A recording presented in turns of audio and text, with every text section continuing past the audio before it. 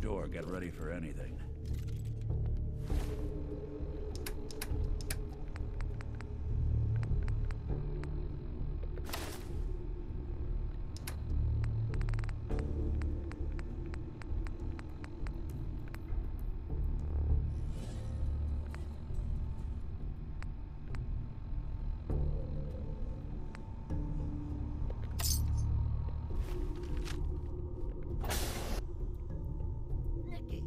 What are you doing? You come into my house, shoot up my guys? You have any idea how much this is gonna set me back? I wouldn't be here if it weren't for your two-timing dame, Skinny. You ought to tell her to write home more often. Oh, poor little Valentine. Ashamed you got beat up by a girl. I'll just run back home to Daddy, shall I? Should've left it alone, Nicky. This ain't the old neighborhood. In this vault, I'm king of the castle. You hear me?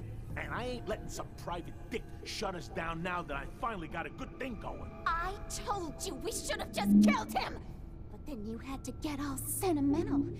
All that stupid crap about the old times. Darla, I'm handling this. Skinny Malone's always got things under control. Oh, yeah? Then what's this lady doing here, huh? Valentine must have brought her here to rub us all out.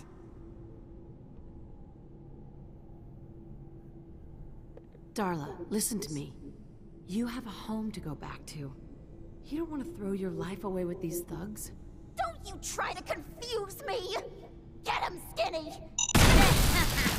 Skinny Dumb bitch. I think he's lighter or heavier with all those holes in him? Uh, the bullets probably add a few ounces.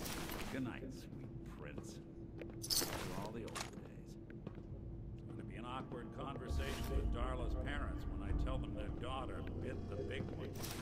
Well, at least the case is closed. Let's get out of here. The service ladder should take us right to the surface.